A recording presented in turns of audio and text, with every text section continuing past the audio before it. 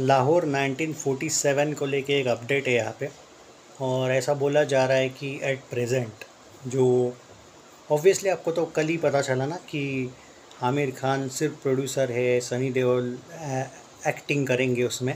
राजकुमार संतोषी का डायरेक्शन है डायलॉग्स भी उन्हीं के होने वाले हैं। तो लाहौर 1947 तबाही मचाएगी।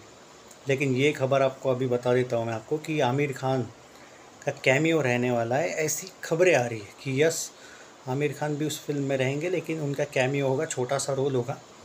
और, या, वो एक एक्साइटमेंट लोगों के मन में होगी ऑब्वियसली लेकिन सनी फैंस को तो भाई सनी बाजी पूरी देर देखने को मिले, वही बहुत है, जो मैं जानता हूँ। गदर टू में उनका अगर रोल की बात करें तो फ़र्स्ट हाफ़ में उतना ज़्यादा नहीं था। इवन पूरी फ़िल्म में भी रोल डेफिनेटली ज़्यादा ही था नो डाउट पर उतना नहीं था जितना वो चाहते थे फैंस तो लाहौर 1947 में आपको ऐसा देखने को नहीं मिलेगा, सिर्फ़ छोटा सा रोल है आमिर खान का।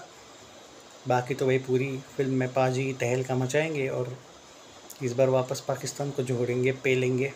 मज़ा आएगा, देखते हैं। एक्साइटमेंट लेवल हाई है। उसको लेके और एक वीडियो मैंने बनाया है, वो एक बाद में रहता हूँ क्योंकि ये लेटेस्ट अपडेट आई है। और उसको भी लेके मैंने एक वीडियो बना के रखा है। मैं एक्चुअली कल ही डालने वाला था, लेकिन सोचा कि भाई आज या फिर कल डालूँगा ओके जो लोग बोल रहे हैं ना कि लाहौर 1947 को लेकर उनको टेंशन है, शायद उस वीडियो के बाद टेंशन नहीं रहेगी, टेंशन ना लो ओके शेयर कीजिए वीडियो को।